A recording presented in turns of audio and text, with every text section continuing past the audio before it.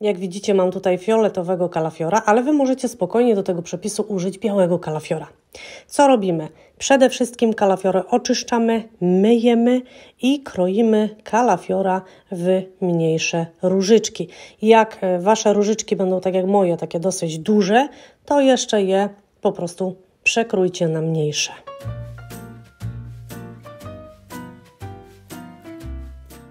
Dalej bierzemy sobie jakąś miseczkę i dajemy pół płaskiej łyżeczki soli, jedną łyżeczkę e, czosnku, pół łyżeczki czarnego pieprzu. No i teraz do całości wlewamy trochę oliwy. Tylko tej do smażenia, pamiętajcie, nie tej zielonej. Całość bardzo dokładnie ze sobą mieszamy. Na blaszkę wykładamy papier pergaminowy, układamy różyczki z kalafiora. I teraz bardzo obficie polewamy każdą różyczkę właśnie tym olejem z przyprawami. A w międzyczasie zostawcie łapkę do góry, komentarz, subskrypcję. No i oczywiście polecajcie ten film dalej, jeżeli Wam się podoba. I teraz, jeżeli jesteście naprawdę fanami kalafiora, to ten przepis, jestem na 100% pewna, przypadnie Wam do gustu. No dobra, ale lecimy dalej. Teraz bierzemy każdą różyczkę kalafiora, posypujemy odrobiną kurkumy.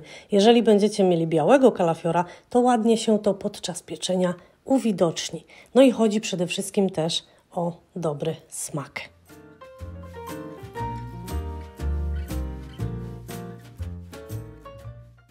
Do nagrzanego piekarnika wkładamy kalafiora i teraz słuchajcie uważnie.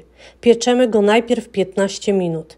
Dopiero później, po 15 minutach, przewracamy kalafiora na drugą stronę i dopiekamy go kolejne 15 minut, czyli pieczemy ogółem kalafiora 30 minut. Po 30 minutach wyciągamy upieczonego kalafiora, przekładamy go na półmisek i zaraz powiem Wam, co jeszcze do niego dodajemy.